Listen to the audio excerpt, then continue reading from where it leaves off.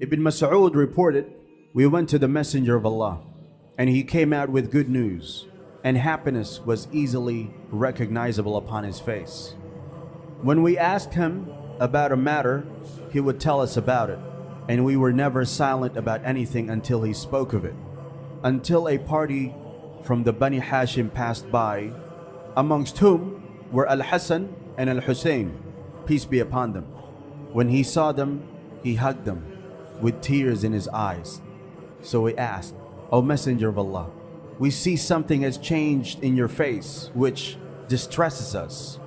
Thereupon he replied, We are a family of a house for whom Allah has chosen the hereafter rather than the present. After me, my family will be refugees, driven out of countries until the black banners are raised in the east. They will ask for the truth, but they will not be given it.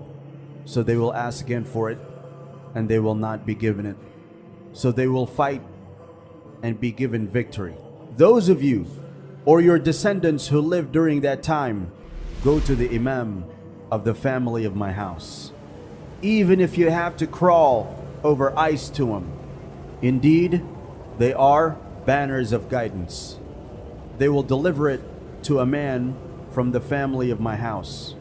His name is the same as my name, and the name of his father is the same as my father, and he will fill the ground with fairness and justice.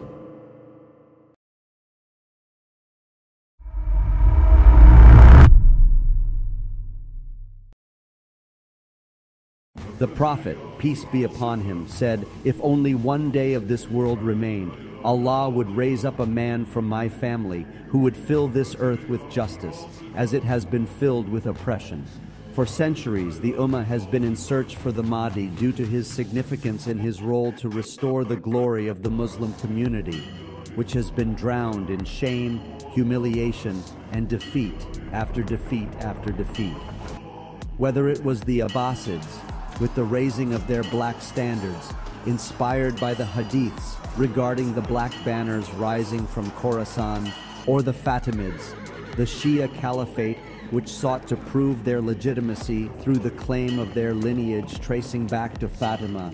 May Allah be pleased with her, the daughter of our beloved Prophet. Many past dynasties and caliphates aspired to have the Mahdi amongst their ranks. Unfortunately, this aspiration extended to even individuals whom, perhaps out of ambition or fame, falsely claimed themselves to be Imam Mahdi. These claims included Muhammad Ahmed, the leader and founder of the Mahdist revolt in Sudan against the Anglo-Egyptian occupation of his country, or Mirza Ghulam Ahmed, founder of the Ahmadiyya movement, who later on upgraded his status to that of the promised Messiah anointed by Allah himself. Or even worse, the man who held the Kaaba hostage and forced the pilgrims to pledge allegiance to him with guns pointed to their heads, Juhayman al-Otaibi.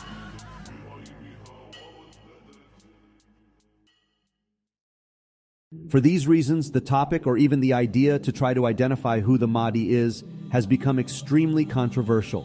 And so, in our aim to find who the Mahdi is, we will only use reliable and authentic hadiths that are at least Hasan or Sahih in grade, in order to avoid any sort of ambiguity. So, what are the prerequisites or necessary conditions for one to fit the role of the Mahdi? Firstly, the Mahdi will be a Hashemite, descendant of our beloved Prophet Muhammad, as the following hadith states The Prophet, peace be upon him, said, The Mahdi will be of my family, of the descendants of Fatima. One thing to note here is that the hadith states the lineage of the Mahdi and not his ethnicity or nationality. Keep it in mind for the remainder of the video. The Mahdi will also carry the name similar to that of Prophet Muhammad. The world will not pass away until the Arabs are ruled by a man from my household, whose name agrees with my name. The Arabic term used to describe the Mahdi's name similarity to the Prophet could be defined as agreeing with or equivalent to, but not identical to. Therefore, the name of the Mahdi is not necessarily Muhammad ibn Abdullah. It could be Muhammad ibn Abdul Rahman, Abdul Aziz, Abdul Karim, and so on.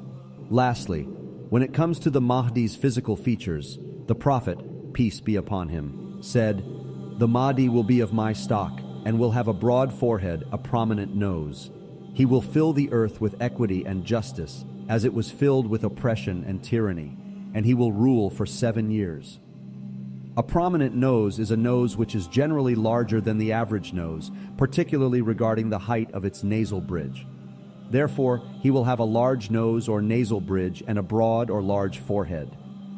There are many other hadiths regarding the Mahdi's actions and achievements, which I have purposely postponed later in the video, which will be clear later on. Now let's recap some of the conditions we've established based on clear hadiths.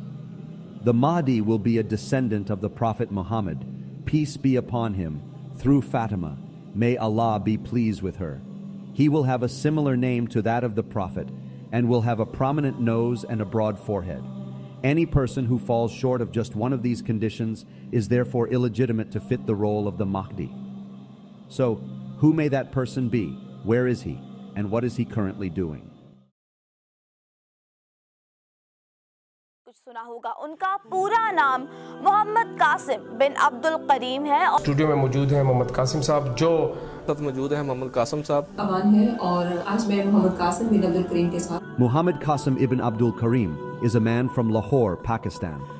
Currently residing in his home city, since 2014, he has been sharing his dreams from Allah regarding Shirk, the end of times, Dajjal, Gog, and Magog, the descent of Isa, peace be upon him, and the re-establishment of the caliphate.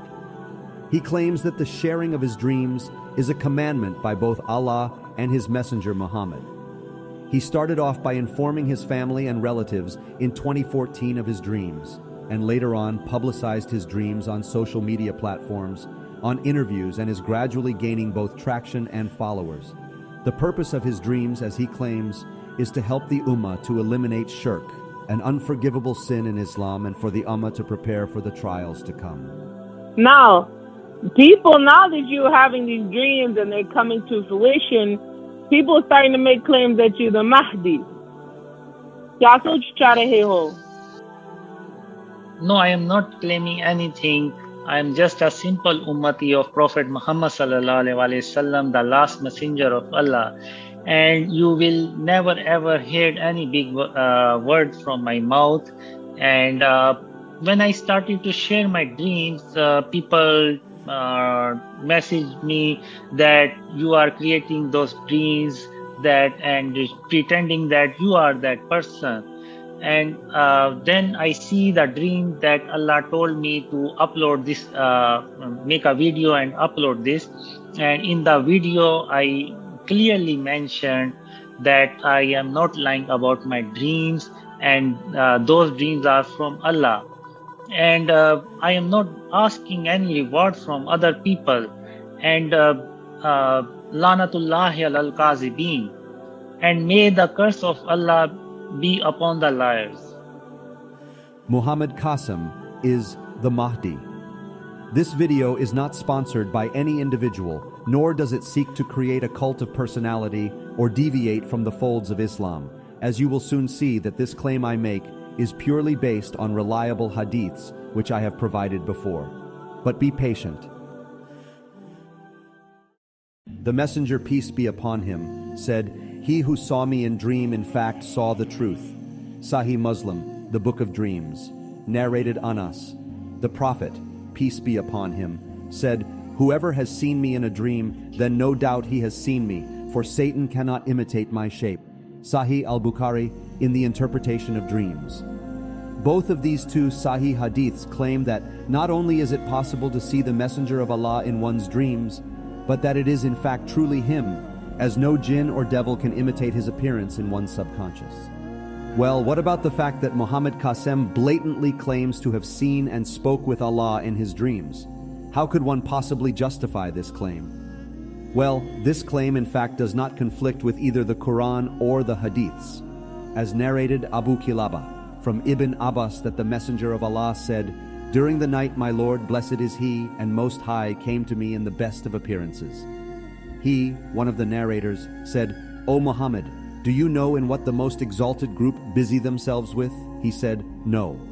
He then said, So he, Allah, placed his hand between my shoulders until I sensed its coolness between my breasts. Regarding this hadith, Many reliable scholars have commented on the Prophet seeing Allah in his dream. For instance, Imam al Nawawi argues that seeing Allah, the Almighty, in a dream is possible. An Nawawi, may Allah have mercy upon him, said when explaining the book of Imam Muslim that Al Qadi Iyad said, The scholars have agreed that it is possible to see Allah the Almighty in a dream, and that the dream would be true. Qadi Iyad, who Al Nawawi was referring to, was a leading polymath and scholar in hadiths, of which his doctrine has inspired the likes of Ibn Taymiyyah. Speaking of Ibn Taymiyyah, he himself has commented on the issue of seeing Allah in one's dream. Ibn Taymiyyah and others said that it is possible for a person to see his Lord in a dream, but what they see is not how he really is, because there is nothing like unto Allah. Allah says, He is the originator of the heavens and the earth. He has made for you spouses from among yourselves, and made mates for cattle as well, multiplying you both. There is nothing like him, for he alone is the all hearing, all seeing. And in Surat the Elevation, when Allah spoke to Moses, peace be upon him, when Moses came at the appointed time and his Lord spoke to him, he asked, My Lord, reveal yourself to me so I may see you. Allah answered, You cannot see me, but look at the mountain. If it remains firm in its place, only then will you see me. When his Lord appeared to the mountain, he leveled it to dust, and Moses collapsed unconscious. When he recovered, he cried, Glory be to you, I turn to you in repentance, and I am the first of the believers. These others that Ibn Taymiyyah referred to included the likes of Imam al Baghawi, Taqi ad Din, and even Imam al Ghazali. So, which one of us is going to refute the arguments of these prominent scholars? And again, I want to highlight that it is possible to see Allah in one's dream, but not in his true form. Rather, it could be a light, or it could be the word Allah appearing in your dream. As Allah says, It is not possible for a human being to have Allah communicate with them except through inspiration, or from behind a veil, or by sending a messenger to reveal whatever He wills by His permission. He is surely most high, all wise. So now that we've concluded the possibility of seeing and speaking to both Allah and His Messenger in one's dream, Let's compare some of Qasim's dreams to the hadiths to evaluate the credibility of this man's dreams. In one of his dreams, Qasim says, I saw a dream on April 10, 2015. The last Prophet Muhammad, peace be upon him, addressed me and he said to me, My son Qasim, just before the day of judgment, four major signs will appear. Then he said to me, The first major sign is the appearance of you, my son, Qasim. I was shocked by the news and I saw myself consulting a religious scholar to confirm about the first sign of the day of judgment. The scholar asked me, Are you related to Prophet Muhammad? I told him, He is my father, and people used to call him by the name Abul Qasim. تسموا باسمي ولا تكنوا بكنيتي لأن واحدا دعا ابنه يا أبا القاسم فالتفت الرسول صلى الله عليه وسلم يظن أنه يقصده. قالوا وذلك أنه وقعت قصة. أنه كان رجل يقول يا أبا القاسم يا أبا القاسم. فالتفت إليه النبي صلى الله عليه وسلم. يظن أحد يناديه فالتفت إليه قال لا لا لا أعنيك يا رسول الله أعني فلانا. فقال النبي صلى الله عليه وسلم تسموا باسمه ولا تكنوا بكنيتي. أبو القاسم أنا بغك This dream is in accordance with the conditions we've agreed upon early on that the Mahdi must be a descendant of Muhammad, peace be upon him. If we look to the seerah of the Prophet, he was indeed referred to as Abul Qasim, as Abu Hurairah reported that Abul Qasim, peace be upon him, said, Give name to your children after my name, but do not give the kunya of Abul Qasim after my kunya. Reference Sahih Muslim, the Book of Manners and Etiquette. Another hadith states, a man amongst us begot a boy whom he named Al Qasem. On that the Ansar said to the man, We will never call you Abu Al Qasem, and will never please you with this blessed title. So he went to the Prophet and said, O Allah's Messenger, I have begotten a boy whom I named Al Qasem. And the Ansar said, We will never call you Abu Al Qasem, nor will we please you with this title. The Prophet said, The Ansar have done well. Name by my name, but do not name by my kunya, for I am Qasem. Reference Sahih al Bukhari. Not only does this prove that, indeed, the Prophet Muhammad was referred as Abul Qasim, but he also forbade the usage of his kunya. Furthermore, Muhammad Qasim narrates that Allah told me in many dreams, Qasim, one day I will help you and will give you success, and I will fulfill all my promises, even if there is one day left from the day of judgment, and the whole world will see your success. This dream from Muhammad Qasim is in line with the following hadith.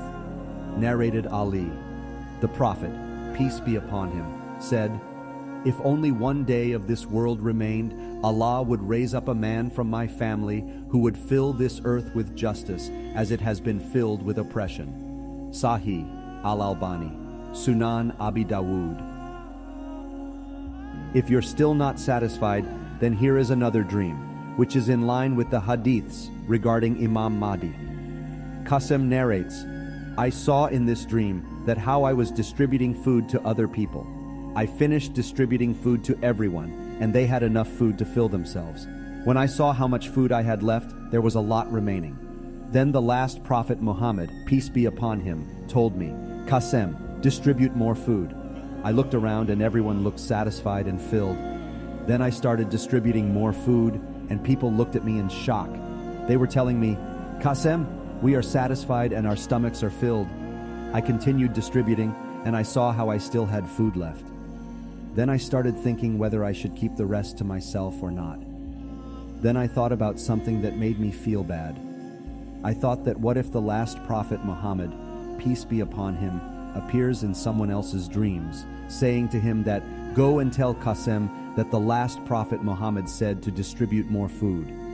I don't ever want the time to come where the prophet Muhammad, peace be upon him, starts messaging others just to convince me.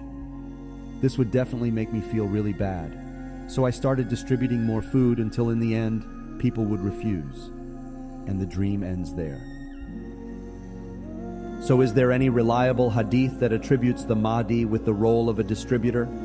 There is, in fact, as Abu Sa'id and reported that Allah's Messenger said, There would be in the last phase of the time a caliph who would distribute wealth but would not count. Reference Sahih Muslim, the Book of Tribulations and Portents of the Last Hour. And here is another hadith. The Messenger of Allah, peace and blessings be upon him, said, The Mahdi will appear in the latter part of my nation. Allah will grant him rain to bring produce from the earth. He will give out wealth appropriately, cattle will be plentiful, and the nation will become great. He will live as ruler for seven or eight years. This hadith also correlates with another dream of Qasim regarding the time of peace. Muhammad Qasim saw this dream on the 31st of August 2022. He says, In this dream, I am amongst some people who are listening to me and asking questions about my dreams. They ask me how much time is left before the day of judgment. I say to them, When the wars begin, which will all be part of World War III and the conquest of India, then after these wars, there will come a time of peace.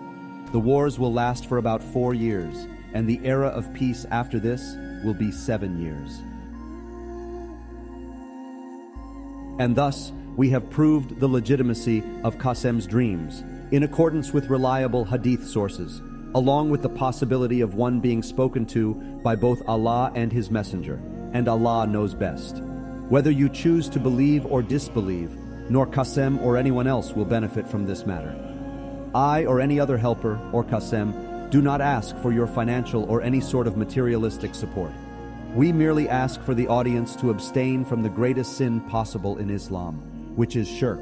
And I testify that the purpose of the video is not to promote a cult of personality, to deceive any person, nor to spread any branch of Islam other than that of Prophet Muhammad. There is no God but Allah, and Muhammad is his last messenger. Many of his dreams have come true, and many others are in the brink of occurring. And Qasim, as we're speaking, is beginning to reach large Pakistani media outlets. There are many other proofs from the hadiths which validate his dreams are true. For more information, visit these channels.